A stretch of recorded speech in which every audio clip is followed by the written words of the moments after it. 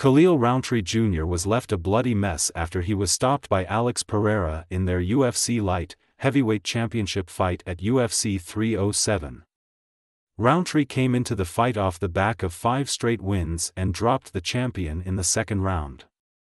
However, Pereira was able to recover and brutally dismantled Rountree until he finally finished him an uppercut in the fourth round. The challenger was left disfigured by the amount of punishment he took from Pereira, with UFC president Dana White sharing. A photo on Instagram showing Rountree with a big cut on his nose and another cut above his left eye. Which was swollen shut. White captioned the photo, Absolute Fin Stud Khalil Rountree. Speaking after the fight, Rountree said. My thought coming into this fight was just to be grateful. I was really excited to come in here and I just embraced the moments. I don't think I was surprised at all. I thought I was going to be able to hit him a lot more. He did a really good job of evading the punches. Pereira, meanwhile, set a new record for the shortest amount of time between three consecutive UFC title defenses. That record was previously held by Ronda Rousey, but Pereira has now successfully defended his title three times in only 175 days. His run includes wins over former champions Jamahal Hill and Yuri Prochazka, but Pereira was quick to pay tribute to Rountree as well after his latest win.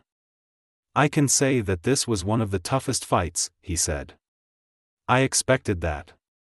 He showed tonight why. He's got so much quality in here. Pereira has previously teased moving back down to middleweight to challenge for the title he previously won back in 2022 or moving up to heavyweight, but he now seems content with continuing to dominate the light, heavyweight division. We saw that Dricus, Du Plessis, is going to be fighting Sean Strickland, Pereira said. He's a training partner of mine. I don't want to get in his way.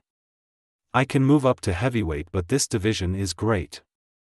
I feel great with this weight cut and this is where I'm at. Join our new WhatsApp community and receive your Daily dose of Mirror football content. We also treat our community members to special offers, promotions, and adverts from us and our partners. If you don't like our community, you can check out anytime you like. If you're curious, you can read our privacy notice.